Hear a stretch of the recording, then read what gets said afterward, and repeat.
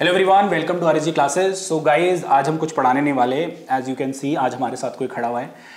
पंकज, हमारा पुराना स्टूडेंट तो मैंने सोचा आप लोगों से इंट्रैक्शन करा दिया जाए।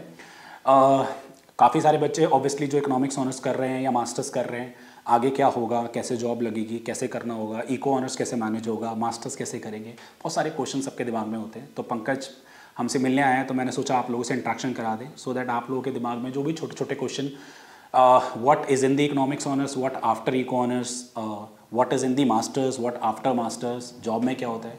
काफ़ी सारे सवालों के जो जवाब uh, आप लोगों को डेफिनेटली पंकज के थ्रू आज uh, हम लोग देने की कोशिश करेंगे। सो so, मैं सबसे पहले पंकज से चाहूँगा uh, एक छोटा सा अपना इंट्रोडक्शन पंकज दे दें। हाय तो मेरा नाम पंकज स्वामी है। तो मैंने एक्चुअली इलेवन ट्वेल्थ जो है साइंस बैकग्राउंड से की थी तो मैंने इकोनॉमिक्स को इकोनॉमिक्स नहीं पढ़ी थी। तो मैं 2015 में मैंने मेरा हंसराज कॉलेज में एडमिशन हुआ। तो 2015 टू 18 बैच से मैं हूँ। और हंसराज कॉलेज में मैं जब आया तो किसी ने मेरे को जस्ट सजेशन दिया था कि economics honours is a good course मतलब मेरे को उसके बारे में कोई ज़्यादा आइडिया था नहीं।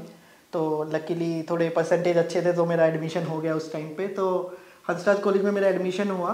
तो वहाँ से मेरी जर्नी शुरू हुई। बेशक मैंने इकोनॉमिक्स पढ़ी नहीं थी, लेकिन मैंने उसको ग्रेजुएशन के टाइम पे उसको अच्छे से पढ़ा किया सर का सपोर्ट था बाकी था अच्छे से मैंने उसको मैनेज किया। उसके बाद मैंने एक साल मेरा गैप था जिसमें मैंने तैयारी की और फिर मैंने मेरा अगले साल दिल्ली स्कूल ऑफ़ इकोनॉमिक्स में एडमिशन हुआ। तो 2019 से 21 तक मेरा आ, मेरा डीएससी में मैं रहा। वहाँ पे आ, मैंने फिर डीएससी में मास्टर्स कंप्लीट की इकोनॉमिक्स में। उसके बाद बेसिकली मेरा मैं, मैंने, मेरी प्लेसमेंट हुई डीएससी से आईसीआईसीआई में एज अ डेटा साइंटिस्ट वहाँ पे अभी मैं, मैंने 2.4 इयर्स अराउंड काम किया है 2021 के बाद.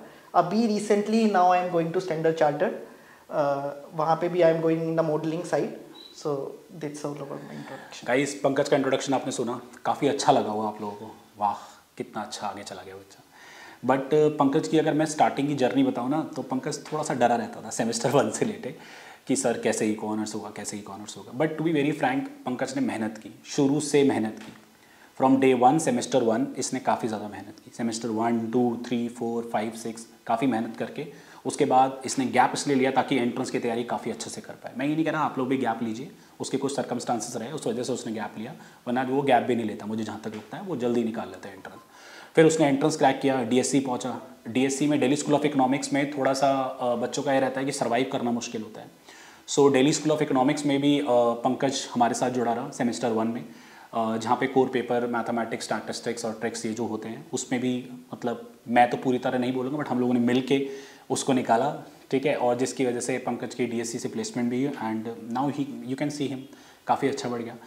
पंकज मैं थोड़ा सा सिर्फ़ जानना चाहता हूँ मतलब क्या कोर पेपर थे जिसमें आपका इंटरेस्ट रहा बेसिकली ग्रेजुएशन में भी पोस्ट ग्रेजुएशन में भी और जॉब में भी जो आपके पेपर हाँ, चल रहे हैं? तो इंटरेस्ट की मैं बात बताऊँ तो मेरा बेसिक इंटरेस्ट तो क्योंकि इकोनॉमिक्स जैसा मैंने बताया, मैंने पढ़ी नहीं थी तो economics was okay for me but जो थोड़ा सा क्योंकि मैं साइंस बैकग्राउंड से भी था और थोड़ा सर का सपोर्ट मिला था मुझे वैसे भी तो मेरा mathematics and basically statistics and econometrics मेरे फेवरेट पेपर थे, क्योंकि and favourite in the sense वो इसलिए भी थे क्योंकि they are the main papers जो आपके एंट्रेंस uh, में भी जो डीएससी के एंट्रेंस में भी काफ़ी इकोनोमेट्रिक्स पूछा जाता है और उसके बाद पोस्ट ग्रेजुएशन में भी। और सबसे बड़ा जो रोल प्ले किया वो था जॉब में। जॉब में एक्चुअली और पेपरों को साइड में हटा के हम हमारा जो मेन uh, जो काम होता है वो हम स्टैटिस्टिक्स और इकोनोमेट्रिक्स काफ़ी यूज़ करते हैं हमारी जॉब प्रोफ़ाइल में। तो मेरे लिए एक ये एक अच्छी बात थी कि मैं उन पेपरों में कुछ मतलब मेरे वो इंटरेस्ट के थे तो मैं जॉब में भी अच्छा कर पाया। ये मेरे लिए एक बहुत अच्छी चीज़ थी। पंकज ज़्यादा कौन से सॉफ्टवेयर वगैरह यूज़ करें आप लोगों ने जॉब में? कुछ बता सकते हैं सो दैट बच्चे पहले से उसको लर्न करके रखें। हाँ बिल्कुल। तो जैसे कि जब तक मैं प्लेसमेंट मेरी नहीं हुई थी दिल्ली स्कूल ऑफ़ इकोनॉमिक्स में थे तो टू बी वेरी फ्रेंक मेरे को इतना आइडिया नहीं था कि जॉब में क्या इतना यूज़ होता है क्या सॉफ्टवेयर यूज़ होते हैं। लेकिन अब मैं अगर आपको तो नाउ आई रियलाइज़ कि मेरे को अगर ग्रेजुएशन में ही या पोस्ट ग्रेजुएशन में पता होता तो मैं उसकी तरफ़ ध्यान दे सकता था। तो मैं आ, आपको सजेशन दूँगा अगर आप कॉरपोरेट लाइफ में जाना चाहते हैं अपना वो बनाना चाहते हैं तो this is the right time आप अपने टाइम पे तो सबसे बेस्ट है आप पाइथन ज़रूर सीखिए। Basic Python for data science that is also YouTube से आप सीख सकते हैं। पाइथन सीक्वल ये दो चीज़ें जो हैं ये बहुत इंपॉर्टेंट है। और आप अभी से ही अगर इन चीज़ों को थोड़ा सीखेंगे करेंगे बाकी बाकी it's secondly thing the thing is that basically हमारी logistic regression that becomes part of machine learning actually logistic regression हुआ decision trees random forest. That also you can find on YouTube और मैनी चैनल्स और sir ने econometrics पढ़ाते ही sir वहाँ से आप अच्छे से यूट्यूब पे देख सकते हैं। तो मेरे अनुसार पाइथन एंड सीक्वल जो है आप अभी ग्रेजुएशन और post graduation Pankaj I think R is also useful मेरे को जहाँ तक लगता है आर हाँ इंडस्ट्रीज़ में बेसिकली आर पे भी फोकस होता है बट जितना ज़्यादा आज के टाइम पे जो जितना मेरे को दिख रहा है थोड़ा पाइथन ओरिएंटेड ज़्यादा है। पाइथन पे ज़्यादा काम होता है। कुछ इंडस्ट्रीज़ आर पे भी बिल्कुल काम करती हैं सेस पे काम करती हैं आर पे काम करती है बट मैक्सिमम जगह पे it's basically Python and SQL Pankaj मैं चाहता हूँ कि जो भी स्पेशली इकोनॉमिक्स ऑनर्स कर रहे हैं नो नॉट पोस्ट ग्रेजुएशन वाले, जो इकोनॉमिक्स ऑनर्स कर रहे हैं, इनको आप ये ज़रूर बता दो कि सेमेस्टर्स की पढ़ाई कितनी ज़्यादा इंपॉर्टेंट है आगे के करियर के लिए। बिल्कुल। देखिए इस क्वेश्चन का मैं इस तरीके से आंसर दूँगा एक्चुअली कि दिल्ली यूनिवर्सिटी की जो पढ़ाई है बेसिकली सेमेस्टर के जो पढ़ाई है ग्रेजुएशन की, अगर आपको लाइफ में आगे maybe you want to do R B I D E P R आपको करना है, या फिर आपको इंडियन इकोनॉमिक सर्विस करना है, या फिर आपको नेट जे आर एफ़ का एग्ज़ाम क्लियर करना है believe me everything comes from whatever you are studying in your semester exam मैं कहूँगा इस पढ़ाई को आप बिल्कुल ऐसे ना करिए कि, ठीक है, आपको नंबर लेने हैं, आपको जस्ट पास होना है, ये वो। ये पढ़ाई ही है जो आपके हर एंट्रेंस एग्ज़ाम को क्लियर करने में आपकी हेल्प करेगी। जो जैसे मैंने बताया था, जो मेरा गैप ईयर था उसी पे मैंने ऑलमोस्ट बहुत एंट्रेंस एग्ज़ाम की भी तैयारी करी थी ये थी तो मेरे को बस इतना समझ आया था कि ग्रेजुएशन की जो पढ़ाई है वो इतनी इंपॉर्टेंट है। आपके सेमेस्टर जो सेमेस्टर्स के जो पेपर है वो सबसे इंपॉर्टेंट है आपकी आने वाली लाइफ के लिए। तो this I will suggest you कि उसका अच्छे से नोट्स बनाएँ। बाद में आपको यही लगेगा कि यही नोट्स हैं जिससे आप सारे एग्ज़ाम क्लियर कर पा रहे हैं। So that will be really great for you so guys I hope काफ़ी डाउट्स आपके क्लियर हो गए होंगे uh, पंकज के through and uh, Pankaj uh, uh, हमारे साथ आपकी जर्नी कैसी रही?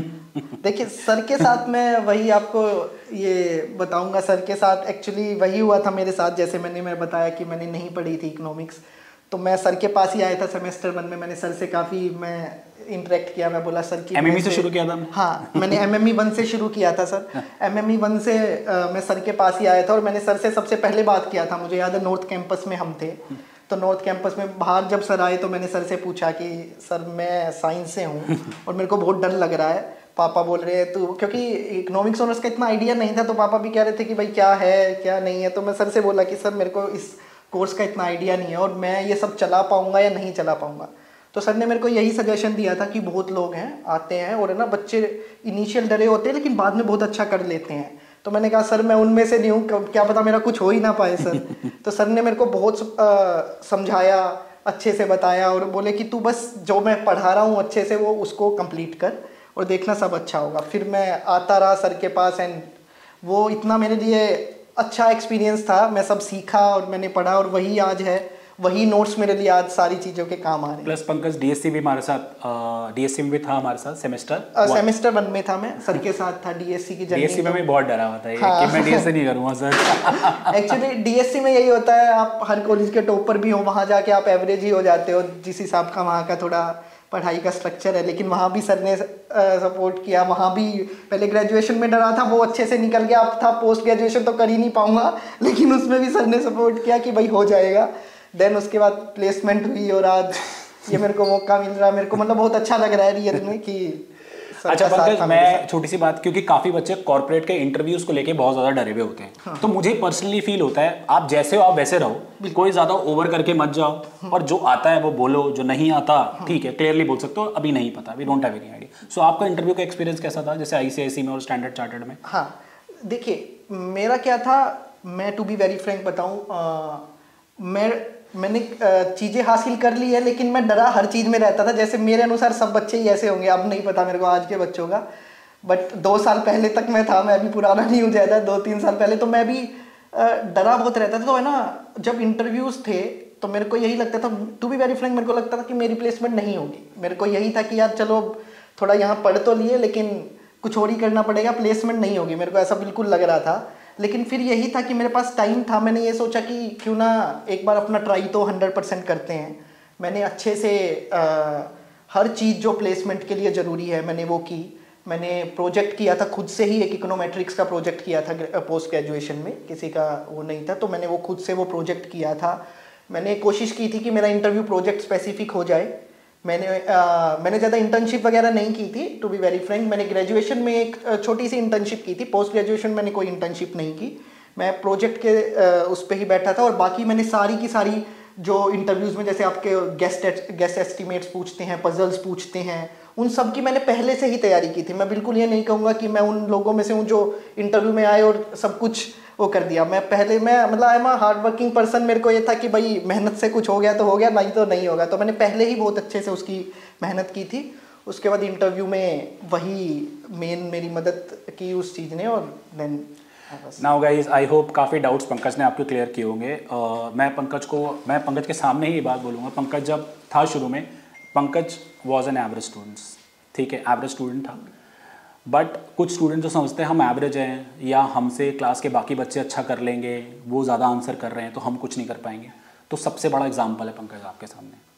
पंकज ने बहुत मेहनत की है, और बहुत मेहनत करके आज वो जिस स्टेज पे खड़ा है ना मतलब बियॉन्ड इमेजिनेशन सो अगर आप हार्डवर्क करें, और शुरू से ठान लें कि हमें कुछ करना है डेफिनेटली करना है from day one of semester one और चलो सेम वन भी नहीं सेम टू से भी ढालना शुरू किया तो आगे तक आपको जो भी जो भी अचीव करना है वो डेफिनेटली आप कर पाओगे।